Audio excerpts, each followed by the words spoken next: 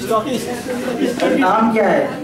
अमृत जायसवाल सनौली से है और नौतरमा से हैं।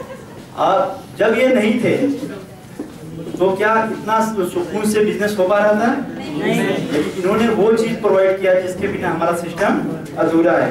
इन्होंने वो सारा प्रोडक्ट बिल रजिस्ट्रेशन आप लोगों को ई वॉलेट से पैसा निकाल के देना ये सारी सुविधा कहाँ पे दिया आपके बिल्कुल घर के बाजू में। तो इन्होंने जो कदम उठाया, क्योंकि कितनी मेहनत करते हैं, जो लोग आजमगढ़ कभी गए होंगे, यहाँ से 250 किलोमीटर दूरी है, दूरी होती तो कोई बात नहीं, लेकिन रास्ता के नाम पे रास्ता ही नहीं है।